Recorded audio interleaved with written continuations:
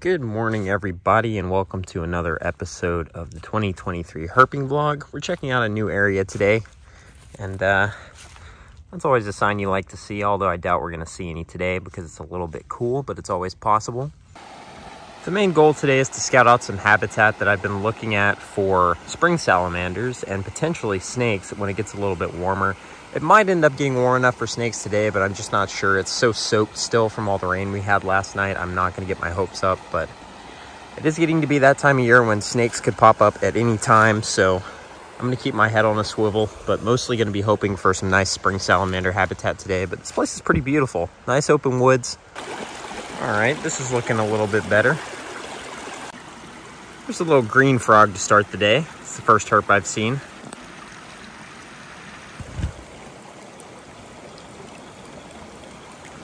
Well, today is off to a pretty good start, if I do say so myself. this giant spring salamander was under that rock. This is a freaking unit of a salamander. Look at that. So, so cool. Now you might be thinking, Noah, you've had a pretty slow winter for spring salamanders so far. And the truth is, I have, but that's largely because I've been trying to find them in new places rather than just going to the same place where I know they're common. And it took a while, but we finally got one, an adult at least. We've seen a ton of larvae. So we've confirmed a bunch of different new spots for them, but this is the first time we've gotten our eyes on an adult this winter. And man, was it worth it. This thing is beautiful and gigantic. They get even bigger than this, and this is still even bigger than the biggest red salamander I think we've seen this winter. When I flipped the rock that this guy was under, that was all I saw sticking out of a hole. Luckily, I was able to flip the next rock and get to him, but such a fantastic looking face with that white specking and those big predator eyes.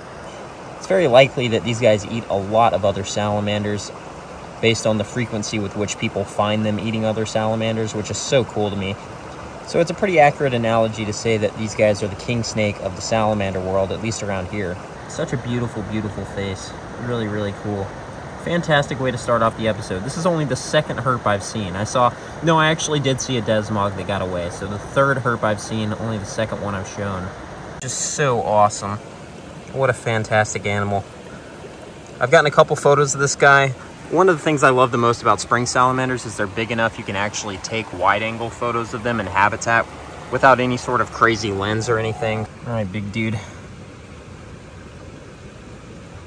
so awesome. Hopefully we can find another one. We just got here.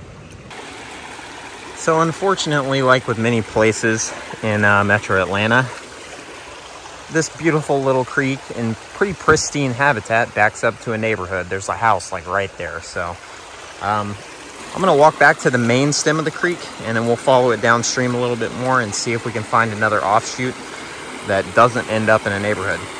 Look at how rotund these Talladega seal salamanders are. I finally got my hands on a couple. I've seen a few since I saw the spring, but they're just ridiculous looking. they're so fat. I, am assuming these are two gravid females. There's no way that they're just that chubby, but either way, another species for the day and another locality for this species that has only recently been described, so pretty cool. All right, I just took a quick photo of these two chunks since they're just sitting here, so I'm gonna put them back under their rock now. Look at this thing, it's just ridiculous looking. It looks even more ridiculous in the water.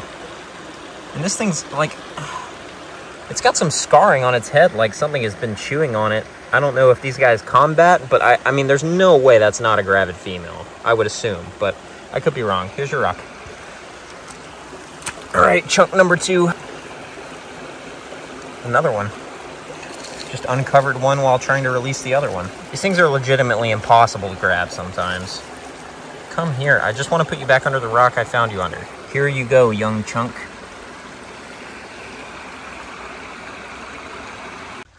Alright guys, found a really good looking new creek just downstream from the last one. Found one really good looking rock. And bam, that is spring salamander number two for the day. A little smaller than the first one, but I think it's a little more vibrant. Definitely a beautiful animal. Look at that. Man, what a beauty. This thing is just neon. Just so, so awesome. Look at those little toes. Fantastic. And this is the uh, this is the Carolina spring salamander subspecies. In the last episode, we were looking for northern springs, which I have not actually seen yet in their adult form. I got my lifer larval one. All right, I'm gonna walk this guy back over to his rock, and we're gonna see if we can find more. Two so far. Really, really good day. All right, dude, back to your perfect rock. Big flat rock in the middle of the creek with dry land under it. That orange tail. Go on. This looks like a fantastic rock, so I'm to try to record it. And uh, hopefully I don't regret it if I lose something. There's a big uh, cheaha and a crayfish. That's nice.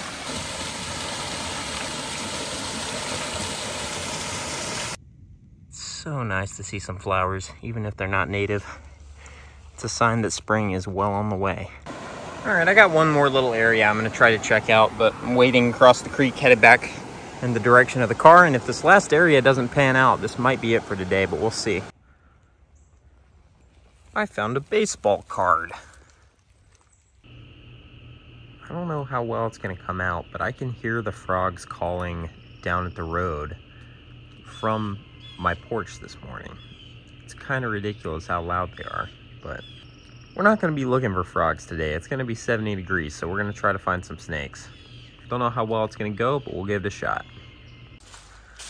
All right, everyone, we are in the field. I'm here with Micah today, and we are checking out a new area, hoping to see some snakes. So it is a new area, so I'm not going to get my hopes up, but I don't think it will be too much to ask that we turn up something of interest today because there's a lot of cool snakes and salamanders that we could potentially find in this spot.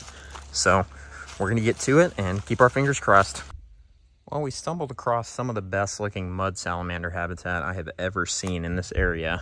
So we're going to poke around here a minute and see what we can turn up. Well, that's not really something I was expecting to find today, but there's our first copperhead of the year. Really nice.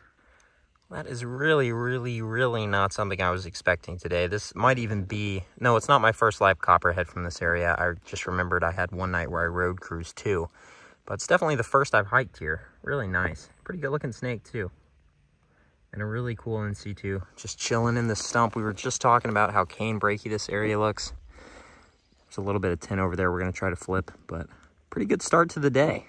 This has been the best week we've had in a while so far. All right, well, we're going to leave that little dude right there. Great way to start the day with a nice little copperhead.